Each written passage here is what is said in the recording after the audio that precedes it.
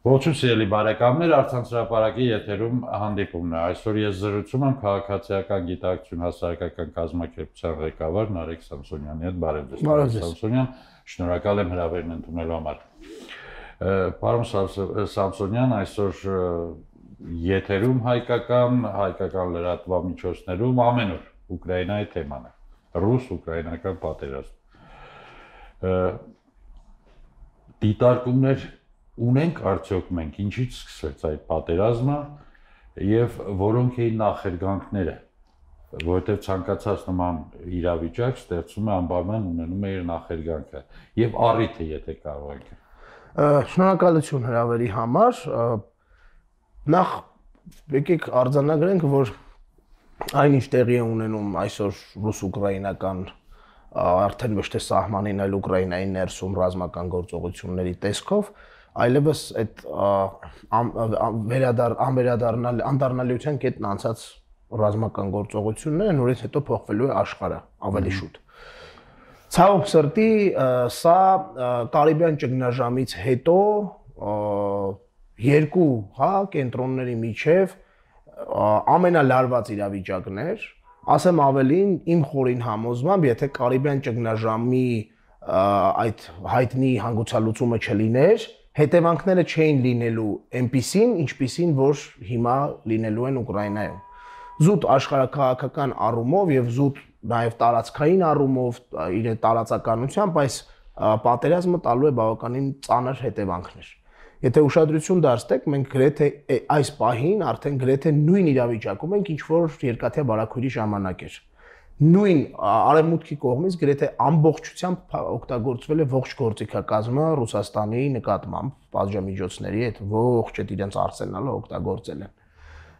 ես չգիտեմ արևմուտքը դուք նկատի ունեք պատժամիջոցները պատժամիջոցները իհարկե պատժամիջոցները ամբողջությամբ օգտագործված են գրեթե էլ բան չի մնացել անելու անգամ սպորտը քաղաքականացրեցին օրինակ UEFA-ն ու FIFA-ն երեք ռուսական ակումբներին եւ Ռուսաստանի ազգային հավաքականին հանեցին Այսինքն, եթե դա պետք է լիներ որևէ ձևով զսպող հանգամանք, հա, որովհետև ցանկացած պատժամիջոց ինչ որ առումով պետք է լինի զսպող, չէ՞։ Զսպող հանգամանք Վլադիմիր Պուտինի համար ժամանակը ցույց տվեց, որ Վլադիմիր Պուտինը թքած ունի դրա վրա եւ ավելին նա շատ կարևոր եւ ես կարծում եմ ցանկացած երկրի համար պատվաբեր հայտարարություն արեց, ասեց ումա պետք այն խաղաղությունը, որտեղ ռուսը այն խաղաղ երկիրը աշխարհը, որտեղ Ռուսաստանը չի լինելու։ Այսինքն ակնհայտ է որ արևմուտքի նպատակը Ռուսաստանին ամբողջությամբ ծնկի բերելն է եւ ամբողջությամբ Ռուսաստանին վնասելն է։ Այստեղ մենք տեսնում ենք այդ հատկապես քարոշչական միջոցների օգտագործման այդ տրամաբանությունը ամբողջությամբ բերում է դրան։ Եվ ցավոք սրտի Հայաստանը այս ամենից ամենաշատը տուժելու հավակնություններ ունեցող երկիրն է։ Ես կարծում եմ, որ այնուամենայնիվ ռուսական կողմը ամբողջությամբ վաբանկի մեջ է, այսինքն որևէ հետդարձի ճանապարհ չունի, վստահաբար ռուսական բանակը կարողանալու է իր արժև դրված խնդիրը լուծել, որովհետև Ուկրաինան այն երկիրը չէ, որի դեմ ռազմական գործողություններ անելու Ռուսաստանը կարող է ունենալ խնդիրներ, այլ հարց է ժամանակային մասը, որտեղ շատ մարդիկ իրականում ես ռազմական փորձագետ չեմ եւ դրանց գնահատական չեմ կարող տալ, ուղղակի արձանագրենք ասացները, հա, ասում են իբր բլիցկրիգ է փորձել անել, բլիցկրիգը չի ստացվել։ Ես չգիտեմ ժամանակակից բլիցկրիգերը մի օրում են տևում, երկու օրում են տևում, թե սովորաբար բլիցկրիգը տևում է մի շաբաթ, երկու շաբաթ, այսինքն այդ արդեն ռազմական փորձագետների խնդիրն է։ Բայց ես կարծում եմ, որ անգամ եթե դա այդպես է տապալել է եւ այլն եւ այլն, Ռուսաստանը միանշանակ վերջում հաջողելու է, ռուսական բանակն իր արժեվ դրված խնդիրը լուծելու է։ Իսկ եթե ինչ որ պահի կանգնեն, դա եւս լինելու է քաղաքական որոշում եւ նաեւ խնդիր է լինելու ձևակերպելու է։ Այո, ես չեմ կարծում այդ բանակցություններով այն ամենը ինչ որ ռուսները պահանջում են, եթե ռուսները ամեն ամենը ինչ որ բանակցություններով պահանջում են ուկրաինացիքից դա անեն, բանակի գործը արդեն իմաստ չի ունենա, որտեղ բանակի գործը կանեն դրանով էլի։ Բայց վստահ եմ եւ ցավոք սրտի պետք է ֆիքսենք, որ Հայաստանը դրանից դուժելու է շատ։ Ահա։ Երկու պարագայում էլի դեպ իմ հարցի մեջ կար նաև այն թե ինչը հանգեցրեց սրան եթե ռուսական կողմի հայտարարությունները լսենք ուրեմն ՆԱՏՕ-ի բազաների առաջխաղացումը դեպի ռուսական սահման եւ իհարկե Ուկրաինայի հայտարարությունը միջուկային զենք ունենալու Դա կազուս բելիներ։ Այ այ դա այդ վերջինը կազուս բելիներ, այ իրականում այսինքն պիտի ասել բաներ երևի, որոնք չգրգռեն հարևաններին, իսկ այստեղ արդեն Գիտեք ինչ, ընդհանրապես իմ խորին համոզմամբ այս բազմաբևեր աշխարհակարգը, որը ձևավորվել ձևավորվել էր երկբևերից հետո, այ երկաթյա բարակույից հետո, փողզսպումների եւ հակակշիռների մեխանիզմների վրա պետք է հիմնված լիներ։ Իրականում, եթե ուշադրություն դարձնենք, Ուկրաինային ոչինչ չէր սպառնում։ Ավելին ասեմ, Ուկրաինայի այդ տարածքային խնդիրը, որ ինքը ներսում ուներ, ըստ էության մտել էր ավելի սառը ֆազա, հա, ավելի սառը փուլում էր ինքը ըստ էության չէր բանանում, հա, չէր գրգռվում, չէր զարգանում, Դոնեցկը, Լուգանսկը իրենց այդ, հա, ապստանդներով ինչ որ ձևով, մի խոսքով ինչ որ ստատուս քվո կար արդեն ստեղծված։ Ու գոնե արդեն քանի տարի է դա։ Բայց արևմուտքը միանշանակ քաղաքական առումով մեծ սխալ թույլ տվեց։ Նախ եկեք ֆիքսենք մի բան։ Ուկրաինային ՆԱՏՕ նրանք երբեք չեն ընդունելու։ Սա փաստ է որտեվ ՆԱՏՕ չեն ընդունում, եթե երկիրը խնդիր ունի իր հարևանների հետ տարածքային վեճեր ունի, նա ինչ-որ կանոնադրական պարտավորություն է ՆԱՏՕ-ի համար։ Բոլորը դա գիտեին։ Նրան ՆԱՏՕ չեն ընդունելու, որովհետև նա ժողովրդավարության եւ կոռուպցիայի բազմաթիվ խնդիրներ ունի։ Երորդ, Եվրոմիության, նույն նույն Եվրոմիության մասը, նրան Եվրոմիություն չեն ընդունում։ Ամիսներ են պահանջում։ Եվ ամիսներ է պահանջում, դա պրոցեդուրալ մաս է, արողակարգային մաս է։ Բայց եթե անգամ քաղաքական որոշումը չի պահանջում ամիսներ, քաղաքական որոշումը մի քանի րոպեվա հարց կարող լինել, բայց այդպիսի քաղաքական որոշում չունեն։ Նրանք պարզապես Ռուսաստանին անընդհատ ամեն հնարավոր ձևով պրովոկացրեցին։ Եվ տեսեք գինը դրա։ Այսինքն արևմուտքը արեց այդ ամեն ինչը, եթե իրեն ՆԱՏՕ-ին ընդունել, թող հենց այդ պահին, որ պահին պատերազմը սկսել էր ընդունեին ու ՆԱՏՕ-ի 5-րդ հոդվածով, եթե չեմ սխալվում, միանգամից իրենք հարցակվեին Ռուսաստանի, որովհետեւ իրենք պատրաստ էին Ռուսաստանի հետ պատերազմի, իսկ իրենք գիտեին, որ դա հանգեցնելու է դրան։ Ինչու իրենք իրենց երկրներով դա չանեցին, այլ Ուկրաինային պարզապես դրեցին այդ դրության առաջ։ Ես այս ամեն ինչում ասեմ ձեզ, Պուտինի դիրքորոշումը ինձ համար գոնե քաղաքական առումով ամբողջությամբ ընկալելի է։ Ես ասում եմ ամենայն պատասխանատվությամբ։ Ես իր փոխարեն եւս դա կանեի, որովհետեւ երբ որ անընդհատ քեզ պրովոկացնում են, անընդհատ քեզ հասցնում են այն փուլին, որտեղ որ դու արդեն այդ կետից հետո դու կամ պետքա ծնկի գաս կամ պետքա իրենց հարված, դու պետք է հարված ես։ Եվ այն ինչ որ եղավ, իհարկե, չէ, նախ առաջինի խնդիրը այդ դեպքում կար, բայց եթե եթե պատերազմը, եթե անխուսափելի անխուսափելի ուրեմն առաջին իհարկե հատկապես Պուտինի դիրքերից դա այդպես է, բայց աշխարհը պետք է տեսներ այս իրավիճակը։ Օրինակ ինձ համար այլևս այն ինչ որ մեր երկրում տեղի է ունենում, տեղի էր ունենում, տեղի ունեցավ 44 օրյա պատերազմի ժամանակ, այլևս զարմանք չի առաջացնում։ Ժամանակին զարմանք էր առաջացնում, մինչև այս վերջերս։ Այս վերջերս ես այս այսինքն այս պատերազմից սկսած ես հասկացա մի շատ կարևոր բան։ Մենք գործ ունենք բազմակի ստանդարտների, ոչ թե երկակի ստանդարտների։ Եվ բազմակի ստանդարտների հետ, որոնք ռեալ պոլիտիկ հասկացողության տակ այնպես են մտած, որ որն էր հա այդ ռեալ պոլիտիկը հատկապես արտաքին քաղաքական տերմին է, չէ, որ չկան հավերժական բարեկամներ, այլ կան հավերժական շահեր որ երբևէ չի կարելի խելամիտ քաղաքական գործիչը երբեք այդ երկակի ստանդարտների տակ չպետք է ստորագրի Մենք մենք այն իրավիճակում ենք, որ հիշում եք 44 օրյա պատերազմի ժամանակ Արցախի նկատմամբ Ադրբեջանի արածը։ Այդ քաղաքակիրթ աշխարհն ուր էր։ Ինչ էր անում այդ քաղաքակիրթ աշխարհը, որը հիմա անգամ Facebook-ն է փակում ռուսների համար։ Ինչ է, երբ որ մենք ժամանակին ասում ենք, որ Facebook-ը արևմտյան քաղաքական, քարոզչական ամենակարևոր գործիքներից մեկն է, ես դա ասելով հանդերձ մի քիչ ինչ որ առումով երբ մտում եմ ասում արդյոք դա ճիշտ է իմ կարծիքով դա ճիշտ չէ հա հիմա եմ մենք տեսանք որ Facebook-ը բացառապես նրանց գործիքն է նրանց համար դա արևմտյան քարոշչական գործիք է եւ վերջ այսինքն իրավիճակային առումով շատ բաներ մեզ համար པարզ դարձավ, եթե խոսելու ենք, չգիտեմ, քարոշչության մասին, թե ինչ են անում այնտեղ, ինչ էին անում մեզ, ամեն ինչ այնքան նման է, ամեն ինչ այնքան པարզ է, որ ընդհանուր մինչև արտահայտությունները։ Այո, ձևակերպումները, բովանդակությունը ձևակերպումների վարչապետ են բոլորը, հիմա այնտեղ բոլորը նախագահ էին པարզվեց։ Այսինքն ամեն ինչն է։ որ պարտված ենք, ինչ ով ինչ ունի տանը վերցրեք եկեք առաջնագից, այդ ամեն ինչը փաստորեն նույն տեղից է գրված։ Եվ եթե ուշադրություն դարձնեք, մենք ես անձամբ կոնե երկար ժամանակ պատերազմի մեջ մեղադրել եմ Նիկոլ Փաշինյանին այն մասով, որ ինքը մեր հարաբերությունները մեր ռազմավարական գործընկերոջ հետ հասցրեց մինիմալի մաքսիմալ արևմտականացման գնաց եւ հիմա պարոն Անդրեսյան պատկերացրեք մենք հիմա հիշենք, հա, ինչ էր ժամանը, ինչ արեցին։ Ամբողջական արևմտականացում էր գնում։ Հիշում եք Արսեն Խարատյանի խաղերը Ամերիկայի, Թուրքիայի եւ այլնի եւ այլնի հետ։ Հիշում եք այդ սորոսական խմբերի մուտքը մարշով մուտքը կառավարություն։ Հիշում եք այն ճակերտավոր քաղաքացիական հասարակության տարբեր պաշտոններ ստանալը կառավարության կազմում եւ այնպիսի մարդիկ էին պաշտոն ստանում, որոնք ձվեր էին նետել Ռուսաստանի դեսպանության վրա։ Դրոշերներում։ Հա, դրոշ այրողները, հայհոյողները, միջև հիմա այդ այսինքն ինչ եղավ։ Նույն ձևով արևմուտքը սրան, սրա միջոցով փորձում էր ստեղ պլատֆորմ սարքել հակառուսական, սա արեց ամեն հնարավոր բան, որ เป զի հակառուսականությունը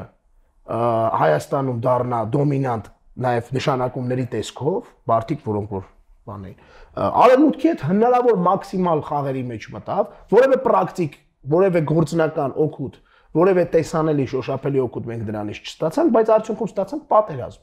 որի ժամանակ մեր ռազմավարական գործընկերը ըստ էության եթե չլիներ այս իշխանությունը արեց այն գործը որը պիտի աներ թվում է արևմուտքը բայց արևմուտքը վերջում նորից ինքն եկավ փրկելու արևմուտքը մենակ թողեց անգամ չաղոթեցին չէ սրա համար հիմա մինչև վերջ ազնիվ լինենք մենք մոտավորապես այդ համացումները որ տանում ենք Փաշինյան Զելենսկի եւ նմանությունները որ այդպես տեսնում ենք ասում ենք գրեթե նույն դպրոցն են կարծես թե ներկայացնում նույն նույն դասգայի մոտ են քաղաքական կրթություն ստացել բայց տեսեք արևմուտքը օրինակ որոշ ձևով արձագանքում է Ուկրաինայի դեռ են սկզբում առաջի Մայդանի ժամանակ էլ արևմուտքը իհարկե այո պաշտպանում էր բայց Փաշինյանը Մկեինը բաներ էր չէ՞ փքաբլիտներ էր բաժանում Փաշինյանի հեղափոխությունից հետո իսկ ավելի ոչ նաև 44 օրյա պատերազմում, այսպես ասենք, այդ արևմուտքը նույն ողջևորությամբ, գոնե ողջևորությամբ չպաշտպանեց Փաշինյանը։ Դե պատերազմից հետո նկատի ունեք։ Եվ հետո եւ առաջ։ Չէ, պատերազմից հետո արևմուտքն ամբողջությամբ խավորություն է անում այս իշխանություններին, եկեք անկեղծ լինենք եւ փաստերով խոսենք։ Նախ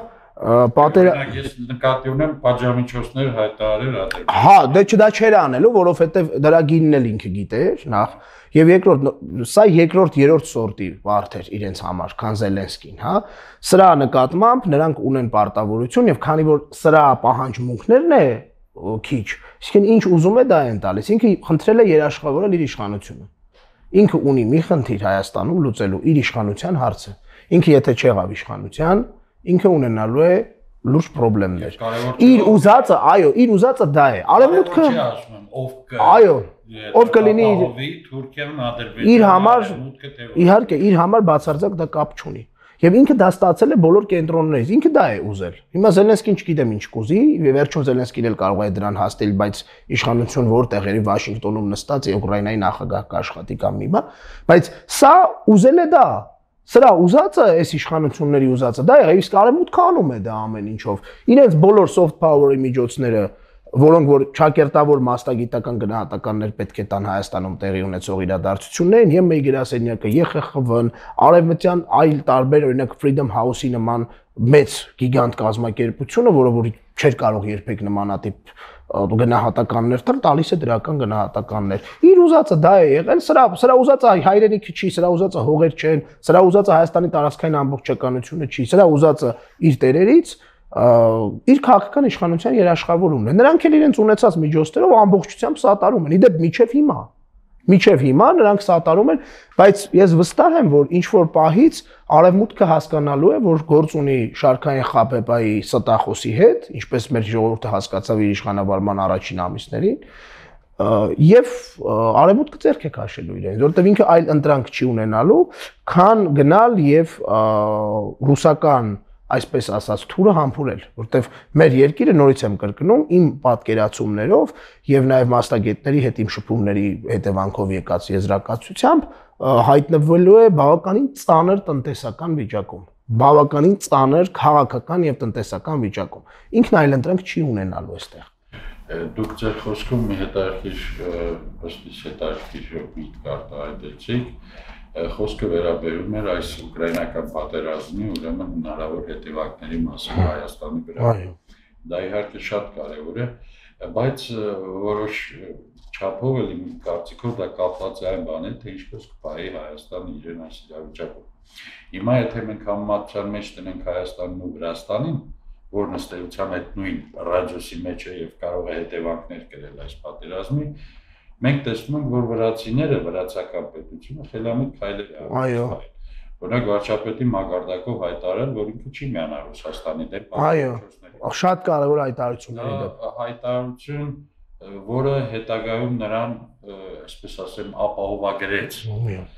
հետագա եւ քաղաքական, ասենք, Ռուսաստանի հետ հերավորություն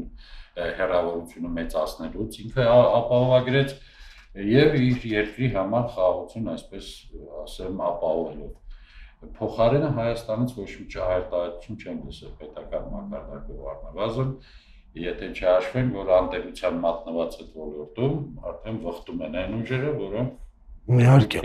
արևմուտքի եւ հակառուսականության քարոզն են Նախ եկեք ֆիքսենք ինչ կլինի, եթե Ռուսաստանը ծնկի գա այս ամեն ինչում, Հայաստանը դառնալու է Թուրքիա մի անգամից։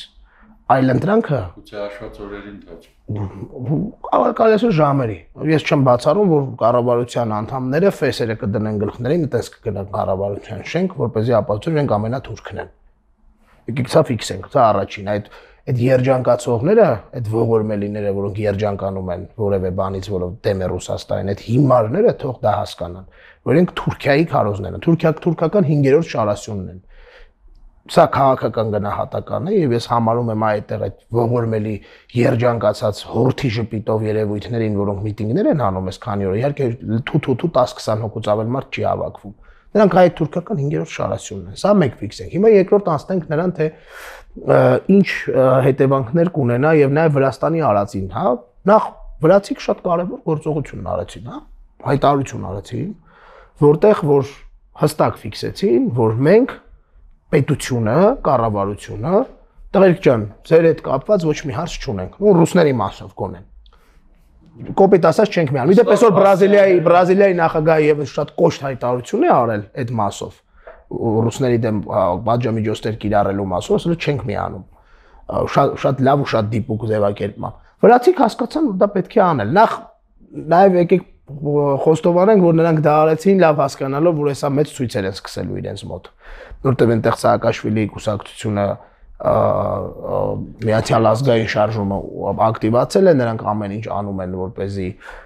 ունենալ ունենան հնարավորություն պրոեվրոպականություն իրենց նորից ցույց տալու, նաև դրանով իշխանությունը դիստանցվեց այդ ուժերից։ Բայց ինչ արեցին սրանք։ Եկեք նայեք, ուրեմն իրենք նախ լռեցին, ոչինչ չասացին,